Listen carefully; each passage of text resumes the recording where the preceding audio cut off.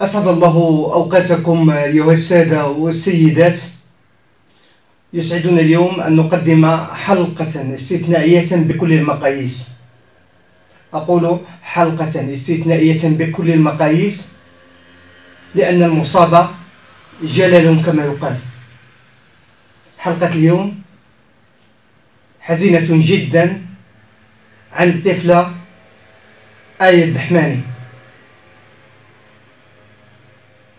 هذه الطفلة الصغيرة والجميلة التي تعاني في صمت وهي مصابة بمرض السرطان. وتعاني ثلاثية السرطان والفقر والعوز. تسكن بإحدى الدواوير المجاورة دوار الرويش لمدينة قلعة سراغنة ولأن المصائب تأتي جملة واحدة ولا تأتي فرادى كما يقال فمنذ خمسة أشهر أودى مرضان السرطان بوالدها. هذه الطفلة الجميلة كما نرى في الصورة ببسمتها المشرقة. وبراءتها نرجو لكل من يشاهدون أن يقدم يد المساعدة سواء من لدى المحسنين من داخل المغرب أو من خارجه. المتمعن المتمعن وأقول المتمعن والمتأمل لنظرة آية الدحماني. هذه الطفلة الجميلة فيها الكثير من الإصرار. فيها الكثير من الإصرار من أجل فتح صندوق مجاني على الأقل من أجل فتح صندوق مجاني لمرضى السرطان. هذا المرض القاتل. يعني على الأقل مجاني لدرء هذه العذابات وهذا الألم وهذه المشاق التي يتلقاها مرضى السرطان ونحن ننظر إليهم يوما بعد يوم. أتمنى أن من يشاهدنا من المسؤولين ولا يرق له قلب وينام مرتاح البال اليوم وهو يرى فلدة كبده مصابة بهذا المرض بهذا المرض الخطير. ولا يقوم بأي شيء. فأقول أنه يعني لا حول ولا قوة إلا بالله.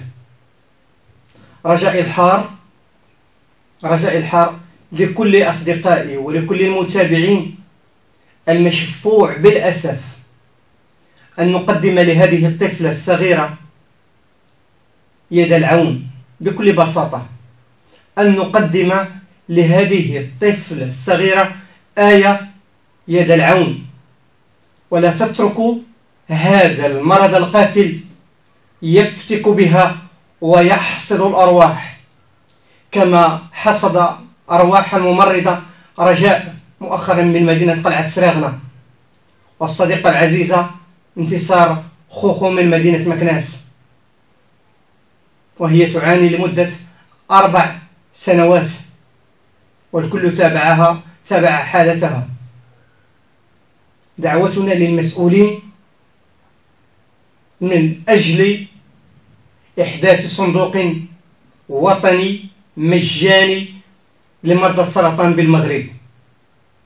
وهو ليس مكلفا أمام يعني أبناء هذا الوطن وبناته. وفي الختام يعني لا أريد أن أطيل كثيرا لأن هذا الأمر حزين جدا ولا يحتاج لخطب رنانة ولا يحتاج لكلمات منمقة. لا أجد ما أختم به هذه الحلقة سوى الدعاء لآية الجميلة والوديعة. بالشفاء. ونطلب من الله العلي القدير أن يشفيها وأن يساعدها في محنتها. لعل الله يستجيب لدعوتنا.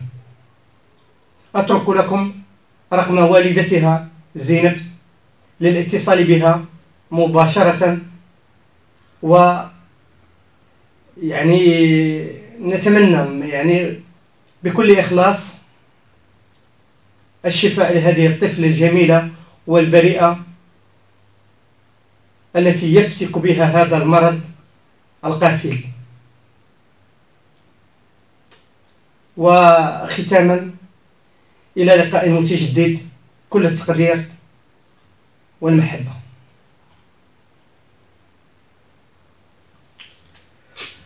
قبل ما تخرجوا ما تنسوش تابوناو في لاشين يوتيوب وبارطاجيو الفيديو مع أصحابكم في مواقع التواصل الاجتماعي. وما تنسوش ديروا جيم.